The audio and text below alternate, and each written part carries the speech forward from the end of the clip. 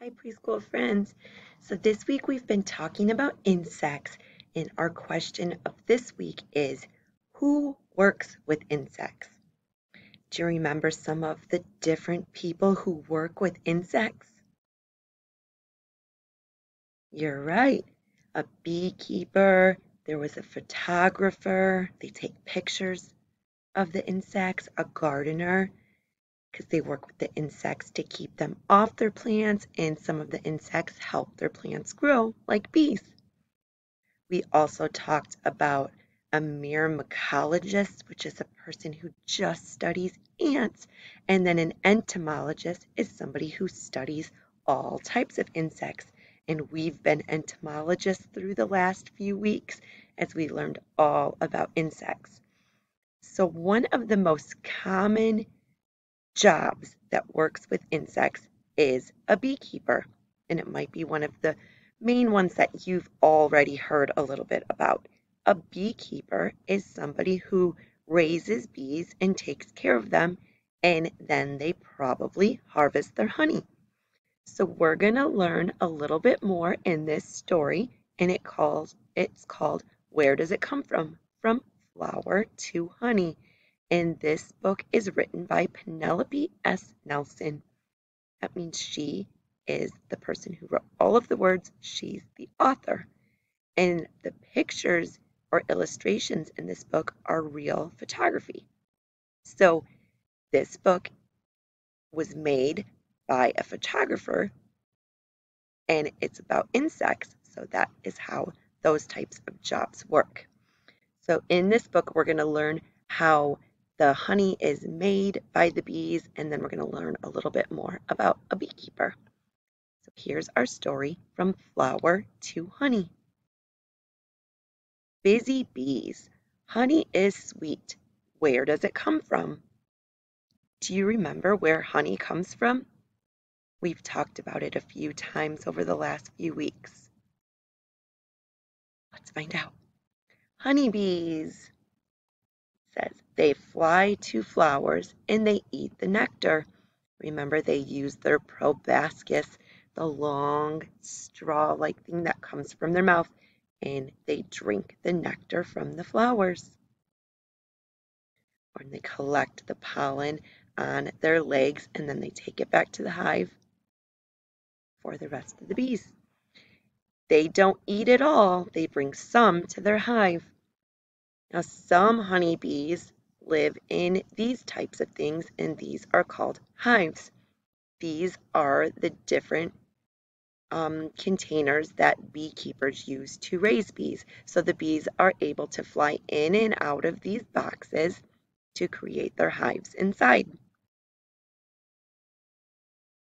Honeycomb is inside. Nectar turns into honey. So the bees fly back from the flowers and they bring the nectar to these honeycombs and it gets turned into honey. Who is this? Do you know who this is? Right, it's a beekeeper. He wears a suit. Why do you think he wears a suit? It's so he doesn't get stung you can see he wears a hat and it has this piece of netting around it and it all gets sealed up and the bees can fly all around him but they aren't able to get inside of his mask or his suit.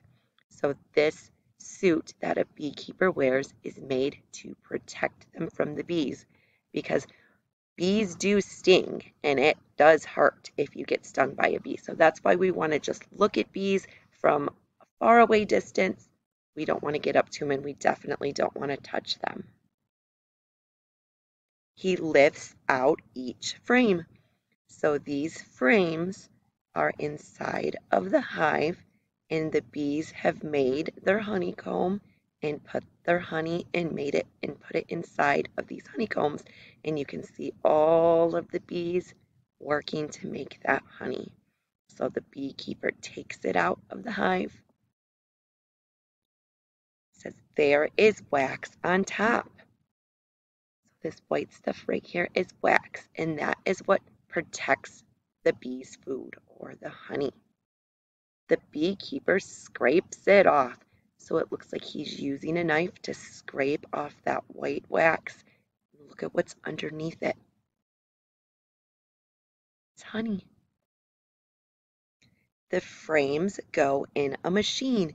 It spins and honey pours out. So they put those frames into this machine and they spin it and spin it and spin it.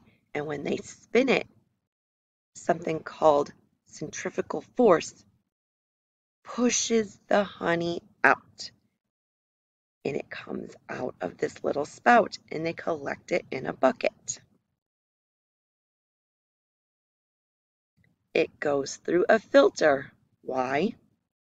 To catch more wax a filter is something that keeps chunks um, that might be found in the honey from going through into the final container of honey. So the filter stops those bigger pieces of wax that might still be there. Once it's went through the filter, then it goes into the jars.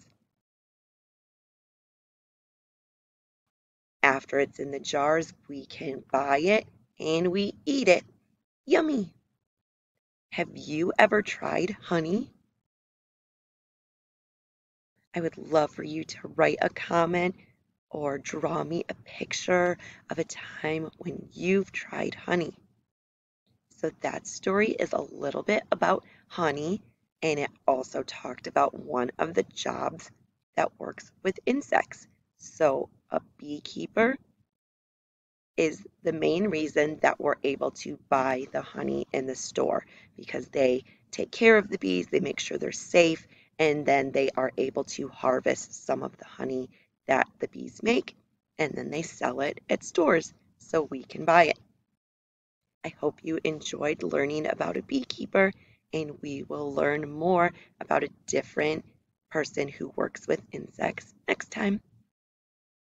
Bye, preschoolers.